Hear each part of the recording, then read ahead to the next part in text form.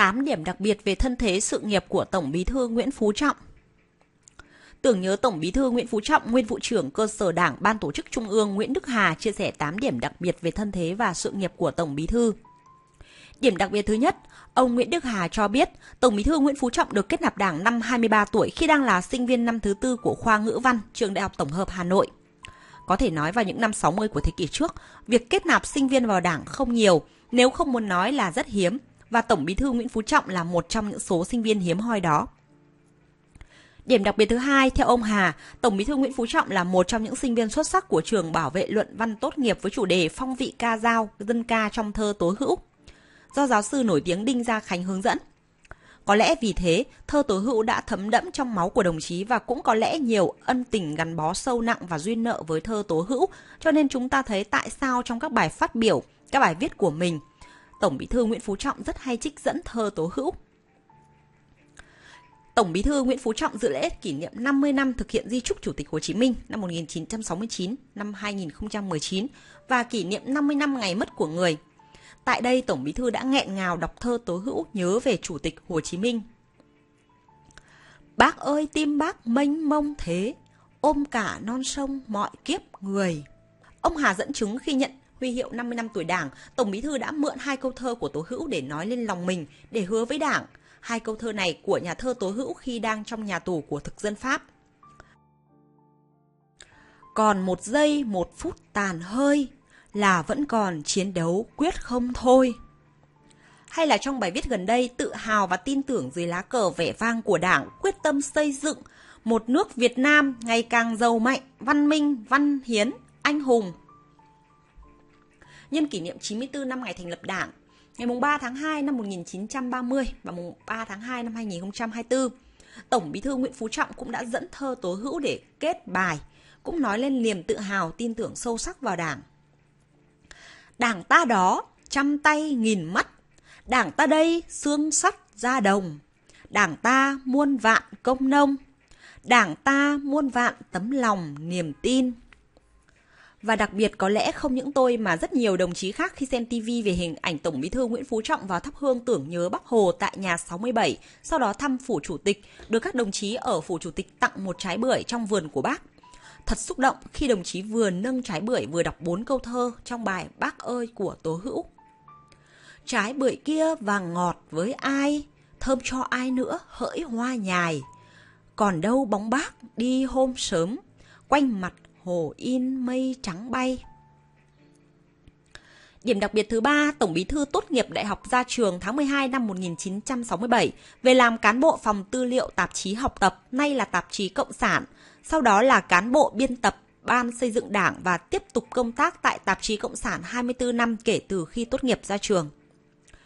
Trong 24 năm đó, có gần 5 năm Tổng Bí thư học tại trường Đảng Nguyễn Ái Quốc Trung ương và đi học ở Liên Xô để làm luận án tiến sĩ – từ một sinh viên tốt nghiệp đại học ra trường trở thành người đứng đầu tạp chí Cộng sản, cơ quan nghiên cứu lý luận chính trị của Đảng ta.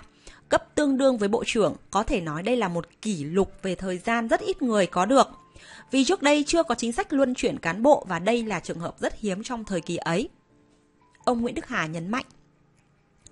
Điểm đặc biệt thứ tư, được ông Hà chia sẻ, Tổng Bí thư Nguyễn Phú Trọng là trường hợp đầu tiên được Đại hội 13 của Đảng, cơ quan lãnh đạo cao nhất của Đảng ra quyết định tái cử Ban chấp hành Trung ương khóa 13 và đề nghị Ban chấp hành Trung ương khóa 13 bầu làm Tổng Bí thư. Đây cũng là nhiệm kỳ thứ ba của ông Nguyễn Phú Trọng giữ cương vị Tổng Bí thư.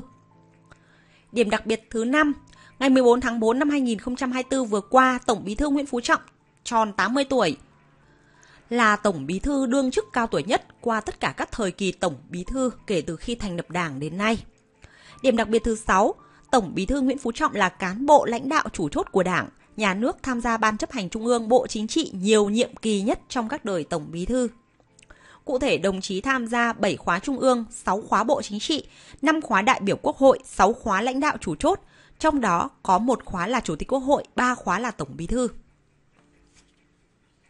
Điểm đặc biệt thứ bảy được ông Hà nhấn mạnh trong thời gian làm Tổng Bí Thư, có một nửa nhiệm kỳ ông vừa làm Tổng Bí Thư vừa làm Chủ tịch nước, từ tháng 10 năm 2018 đến tháng 2 năm 2021. Ông là lãnh đạo thứ ba giữ đồng thời hai chức vụ lãnh đạo chủ chốt này. Đầu tiên là Bác Hồ, thứ hai là đồng chí Trường Trinh, thứ ba là đồng chí Nguyễn Phú Trọng.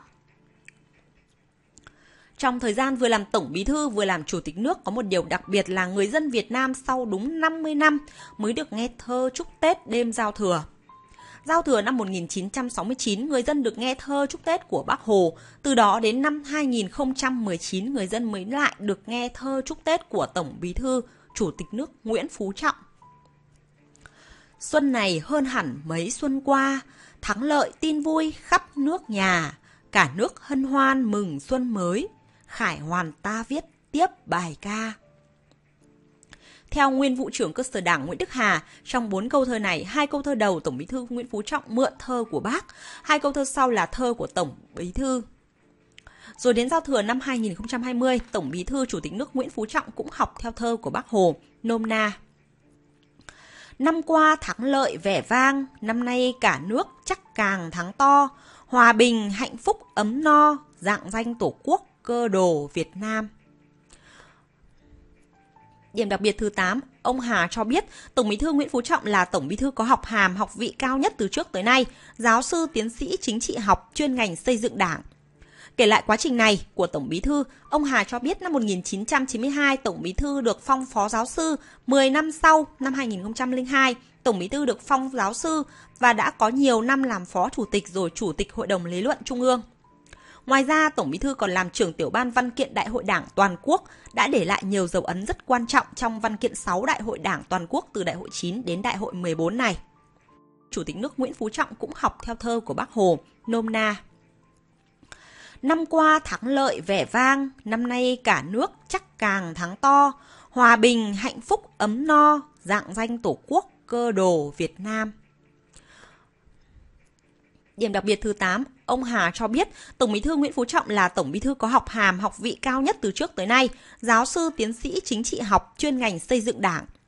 Kể lại quá trình này của Tổng Bí thư, ông Hà cho biết năm 1992 Tổng Bí thư được phong phó giáo sư, 10 năm sau, năm 2002, Tổng Bí thư được phong giáo sư và đã có nhiều năm làm phó chủ tịch rồi chủ tịch Hội đồng lý luận Trung ương. Ngoài ra, Tổng Bí thư còn làm trưởng tiểu ban văn kiện Đại hội Đảng toàn quốc, đã để lại nhiều dấu ấn rất quan trọng trong văn kiện 6 Đại hội Đảng toàn quốc từ Đại hội 9 đến Đại hội 14 này.